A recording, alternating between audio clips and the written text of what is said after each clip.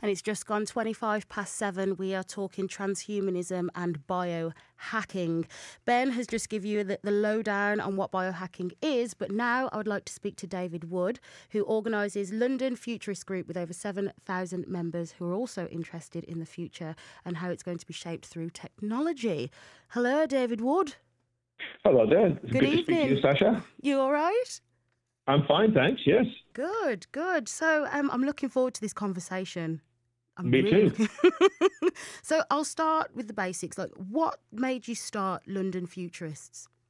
Well, the future is coming faster than it used to be. You know, mm-hmm. a long time ago, the future was something you might get in the 23rd century in Star Trek, or it might be something that happens to your grandchildren. But in my professional life, I saw how quickly computers and then smartphones were changing the world. And other people can see that uh, there might be artificial intelligence or body modifications, uh, implants, all kinds of things might be happening sooner than expected. And so it's important to discuss quite carefully what's science fiction and what could be reality. Yeah. And it's also important to try and figure out, well, would there, some of these future things be good or bad? And our first reactions are wow or Mhm. oh yuck. Both these three-letter words can be misleading because they tend to be grounded in our experience of the past, and the future may have quite different possibilities. Okay. So that's what London Futurists is to do. It's to have a serious discussion on possible radical scenarios for the quite Okay. near-term future. So, David, what does reshaping the future look like to you and your members? Well, I have to say, members have lots of different views. There's no one set of uh, clear uh, scenarios that everybody buys into. The more important thing is to have an open mind to discuss it. Mm-hmm. But quite often it sees uh, growth in artificial intelligence on the one hand, having a greater role. It already has a great role in many parts of our lives, and it recommends not only books to us, it recommends uh, what we should watch next in our streaming media. It recommends who we should hook up with for new uh, relationships. But that's just the start of what we might see. So, And th- then there's changes in our health. There might be that we could not only rub things on our skin to make us look younger, but we might have uh, modifications to our biology. We might have uh, interventions on a regular basis to clean up damage that's accumulated. And so we might get uh, rejuvenated. So one possibility is that we would have uh, youthfulness for as long as we want to instead of our Hmm. bodies getting Super. weaker. Alrighty, and less how are you feeling? vital. I'm good. Yeah. So just get nice and relaxed. see, I nice heard something about that, this whole the one. live forever. And This one it was felt fine. more on the lines of transferring the human consciousness into an AI machine or, a, let's say, a robot. Is that what some of the things that you guys are talking about in terms of living forever? Or are you literally talking about keeping the, the, the, the vessel that we already have and just modifying that and injecting it with things? What, how does that work? Well, there are two different uh, sets of ideas. There's a kind of uh, life extension within our current bodies or improved versions of our bodies. And then there is the more speculative and probably further out possibility that we might uh, move our minds into other bodies or robots, as you call them. And uh, some people think, well, that would be them. Other people are nervous that what you would end up with, if it was possible, would be a Mhm. copy bit Mhm. like a clone. You know, if a clone is made from you, uh, you are not your clone. It would be a different person who had the same memories as you, but it wouldn't be you. Yeah. So we should discuss that uh, as well. And for the short term, what most people are looking to is modifying our existing bodies to make them uh, healthier for longer. Have you ever modified your own body? Well, uh, there's all kinds of things we do. I had my eyes lasered 10 years ago, so that wasn't me doing it. Okay. My goodness, it was a very good thing that happened. So I managed to avoid using glasses or contact lenses, which I'd done from the age of nine to the age of 50. For the last 10 years, I've uh, experienced near 20/20 vision without. Okay. So that I've done. I'm not a person who has tattoos or body piercing jewelry. So I'm not somebody who has experimented with having chips inserted in my hands, and some of my friends and colleagues have done so. Uh, as an experiment, I haven't seen the particular pressing need to do that myself, but in the future, I think more of us will, will do that. Mm-hmm. Are you it's surprised? like we carry a mobile phone with us, a smartphone with us, and it's very useful. In the future, a lot of the functionality will be probably inside our bodies rather than being in a separate device, which we might forget and leave behind from time to time. Mm-hmm. Some some would say, David, that you know this whole bio, biohacking stuff is is playing with God's creation. What what are, what are your thoughts? Well, we've been playing with the God's creation since the beginning of human history, as we have improved clothing, as we have developed uh, solutions to various diseases, as we have improved the environment so that we keep out uh, dirt and infections. So yeah, but this is the body. Improving. Yeah we're talking about the body, not clothes and you know the materialism of it all. It's the the body. Isn't the body no. perfect the way it is? No, the body is far from perfect. The body is vulnerable in all kinds of ways. That's why we already do modify the body with vaccinations or antibiotics. You know, mm-hmm. uh, it's quite shocking when people first propose that you might uh, inoculate with a vaccination, give the, give the body a little disease, and that would make it stronger. And thank goodness we've done that. We have extended the human lifespan very considerably. If you really want to be natural, then you have to expect to be dead by probably the time you're 30. Uh, if you're a woman, you'd expect that if you had children, maybe five of your seven children would die before you do. That's what nature gave us. And we humans have used our good grasp of science and engineering to improve our physical situation enormously. But it's only the beginning. Lots more is possible ahead. Isn't the beauty of the human body just being vulnerable and decaying and you know and giving up on us and then we fix it and you know we can improve it. But naturally why do we have to modify and live longer and longer?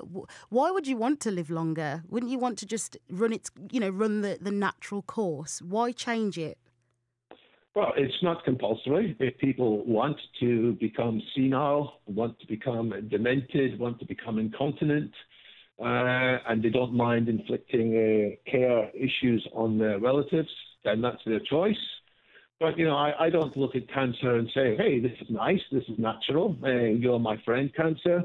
I think we should fight cancer, and we should fight, uh, as we've done in the past, diseases of infection, we fought tuberculosis, we fought mm-hmm. smallpox.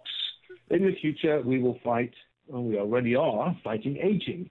Mm-hmm. Why should we live longer? Well, life is good, frankly. Uh, there's so much more to experience. There's so much more music to learn.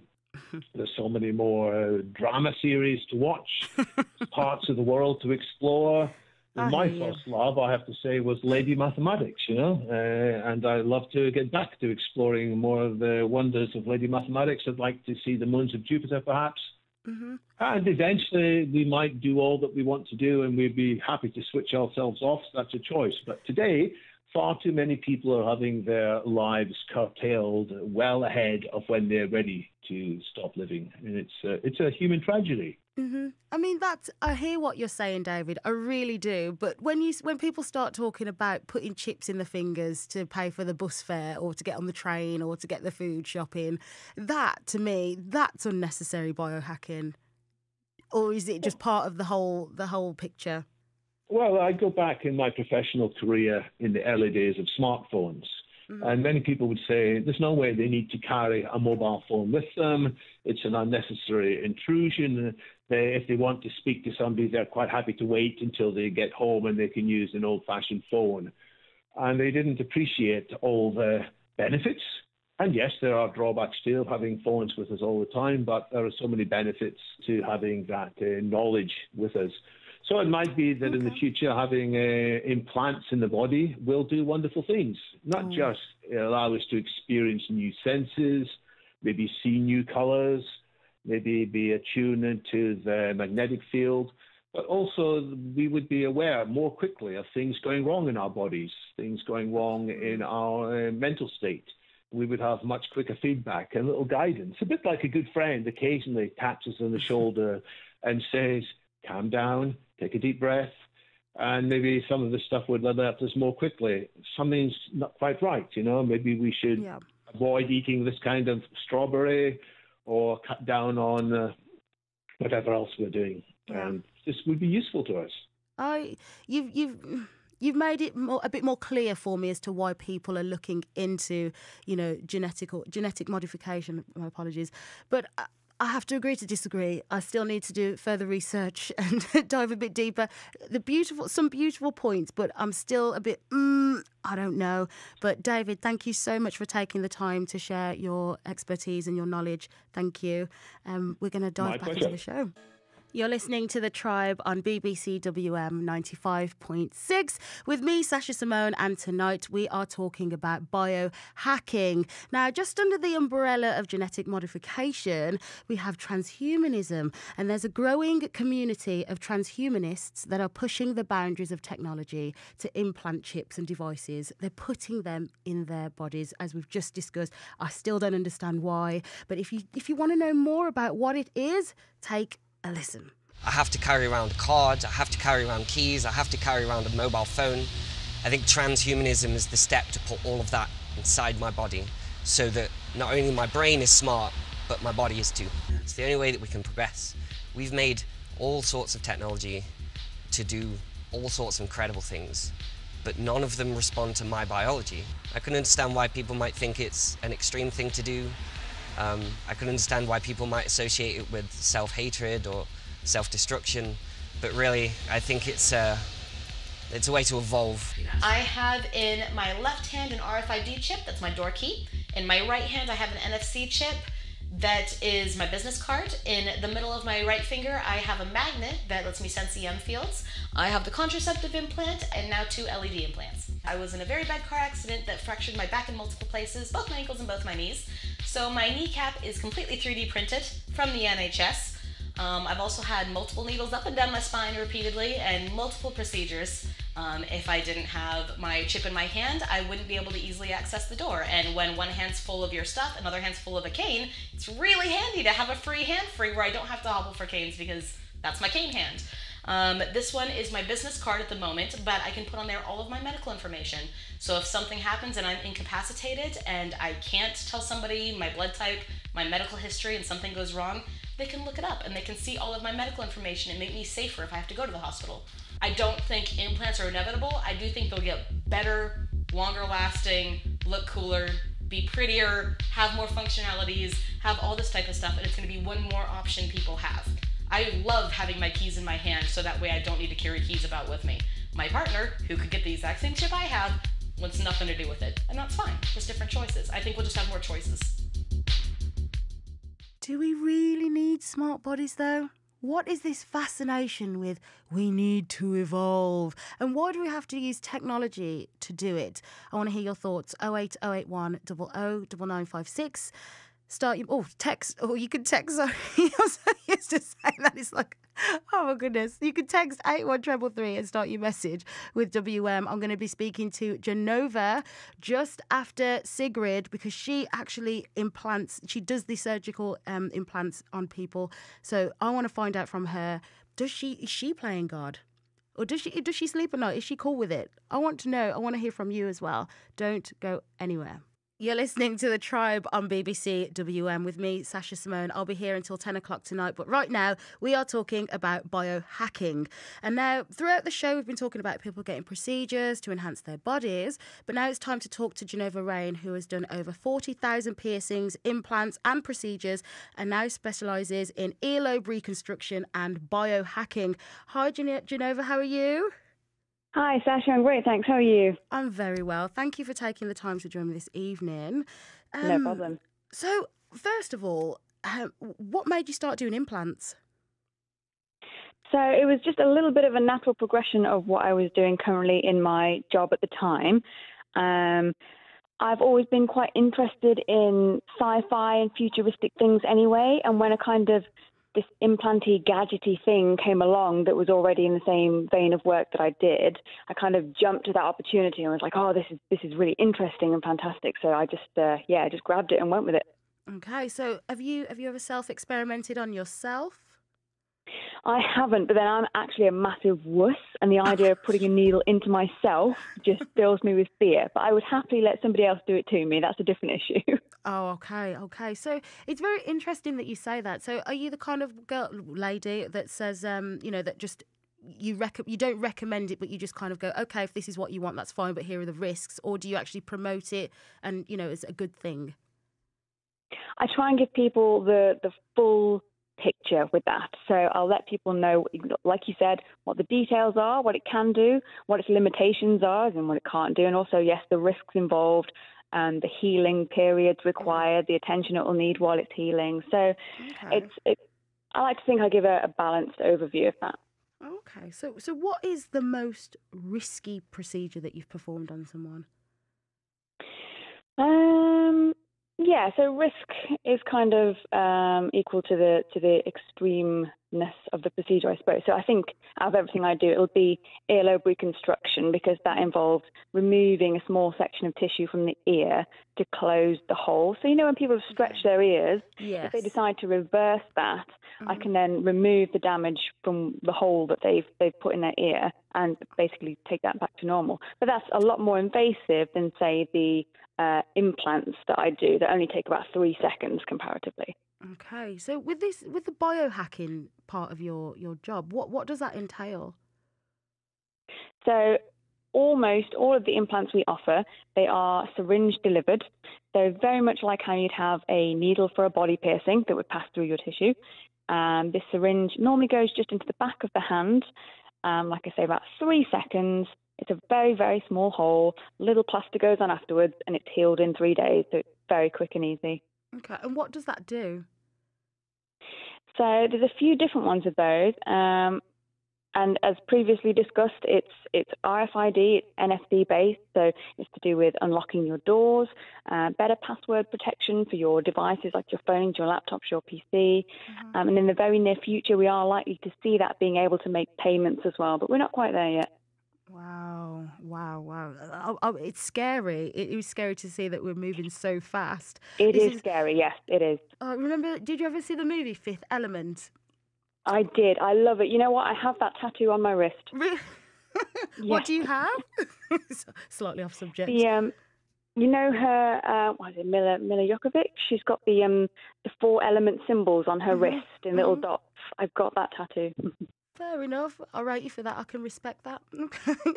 So, um, so what what is in high demand at the moment? What are you getting calls and emails and texts about at the moment? What's everybody raving about? So I think the current most popular one, um, and it does change quite often because this is this is quite a new technology, um, and there there are new versions of this coming out all the time, which is excellent. I, I love to see the progression of this. Um, but the common one at the minute is called our NExT, and it's Okay. the idea that we've put two um, older versions of the same chip together in one chip, so it just makes it easier. Instead of having multiples of this, you've now got one chip that does two of the same things. It's got a high frequency and a low frequency capacity in one. It just gives more versatility to the chip and gives you more options on what you can do with it in a single chip. See, that's scary because that's futurism in itself. Because now I'm thinking, okay, so it, there's upgrades involved. So, say 20, Exactly. 2010, you're going to need, you know, something that goes in your arm because now you'll be able to watch telly on the track and you can just project a hologram, you know. And then it's like, you know, how they advertise like these smartphones, and it's like there's how many iPhones or whatever or Samsungs, and it's this, it pretty much does the same thing, but yet everyone always needs the new model. So, do you think it's becoming a trend? Absolutely, yeah. And in the same way, we saw this rapid development of uh, smartphones over what 10, 15 years since we first had our Nokia bricks, and look what we're holding on to now it's fantastic. I think we're going to see the same kind of progression with this. It's absolutely mind blowing. And uh, I'm really looking forward to it. I don't know if you caught um, that episode of BBC Years and Years, I and there was a girl there, and she had her phone literally implanted in her hand, and she was making her call through her hand. The I found that amazing. yeah, yeah, yeah. Check it out. Go and look for years and years. Oh no, oh no. There's loads of stuff on Netflix as well. I'm, I'm sure you've probably caught up with it all. Um, but uh, the one that stands out for me is um, Living with Yourself, the whole cloning process. I know that's a little bit different. that. But the one with um, Keanu Reeves as well, I'm not sure. And he transfers his consciousness into a robot and he has to test out, like, because synthetically he doesn't register that he's in a synthetic body. I'm waffling. I'm going off on a tangent. here. All right, that, that's, that's me when I talk about sci-fi as well. It's all good. but it's it's really interesting that it's it's in it's today we're living it even though you know going back to the fifth element days you watched that and thought whoa you can cook a whole roast chicken in less than 10 seconds Yeah. and, and give it five years we'll be there we'll be there. Amazing. Exactly. I'm looking forward to that roast chicken. I'm excited. well Jenova I could easily speak to you for the rest of the evening but I have to go Same. but thank you No for worries. taking Thank the you so much. Cheers. Take care. Brilliant. bye. Bye. Bye. Bye. Right, I'm going to close the hour with some Jonas Blue. Don't go anywhere because after the news, I'll be in the tea room with some of my pals. And if you've got anything that you've seen in the news or on social media that you want to talk about, don't hesitate to get involved. I'll see you after the news.